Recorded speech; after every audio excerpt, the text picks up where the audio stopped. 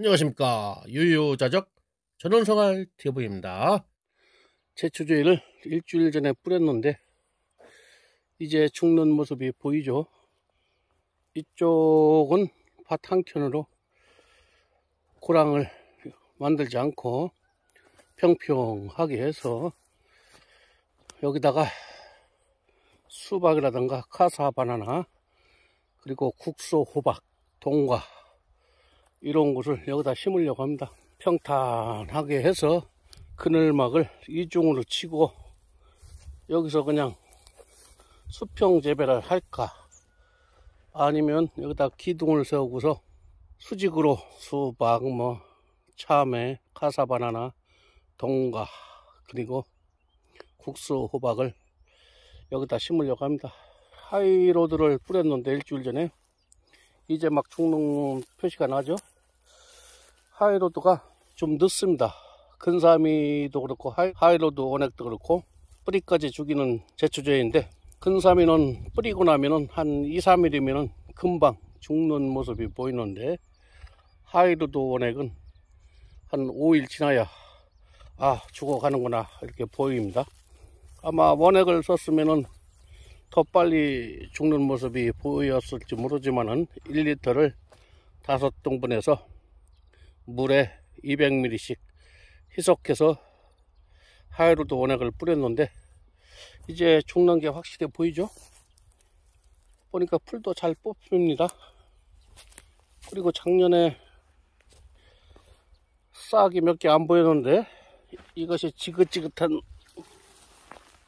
아피오스죠 인디언 감자 작년에 몇 개 안 보였는데 올해 밭을 일구다 보니까 엄청납니다.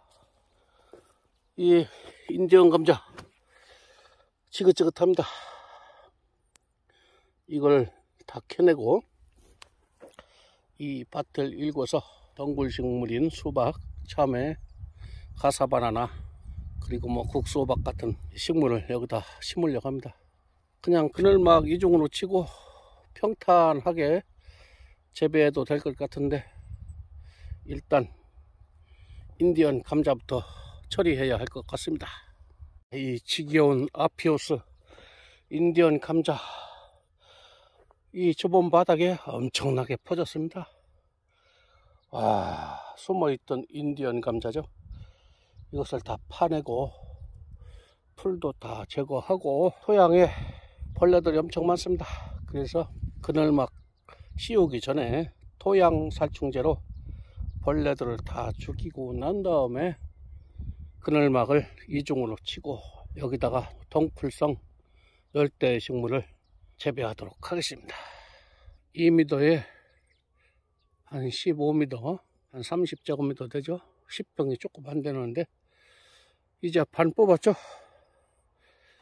제초제를 뿌렸기 때문에 풀은 다 죽어가고 있습니다만은 이제 반 조금 더 뽑았습니다. 이쪽은 또 코사리가 다 죽었는지 알았더니 코사리가 또 나오고 있죠 요것은 남겨두고서 나머지에다가 동굴 식물인 열대 과일을 심으려고 합니다 박과도 있고 카사바나나 같은 아주 맛있는 과일도 있고 하여튼 모종을 잘 길러서 5월달에 이곳에 열대 과일을 심도록 하겠습니다. 보면은 이런 애벌레가 많죠? 검정색 애벌레인데 이런 애벌레가 토양에 많습니다.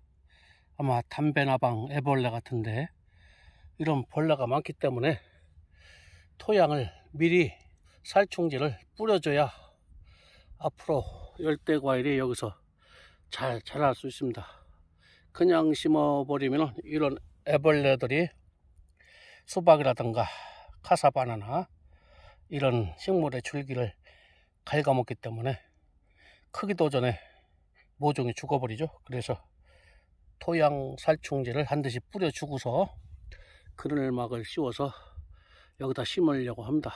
아이고 이런 담배나방 애벌레 같은 벌레들이 엄청 많습니다. 물론 토양이 살아있다는 뜻이기도 하죠. 그렇지만 이런 아주 작물의 해충 같은 벌레들은 다 죽이고 시작하는 게 훨씬 수확이 좋아지겠죠. 그래서 토양살충제를 여기다가 내일 사다가 다 뿌려야 됩니다. 그런 다음에 그늘막을 치고서 풀이 못 올라오게 한 다음에 여기다가 수박이라든가 가사 바나나 심으려고 합니다.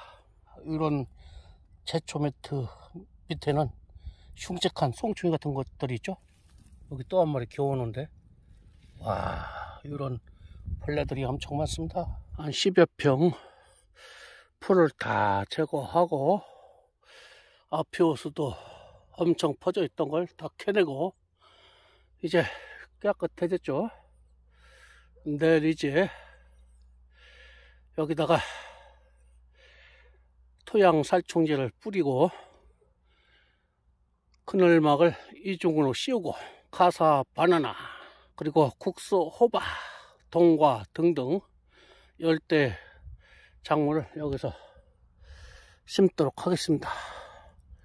이상입니다. 시청 감사합니다. 구독과 좋아요는 저에게 큰 힘이 됩니다.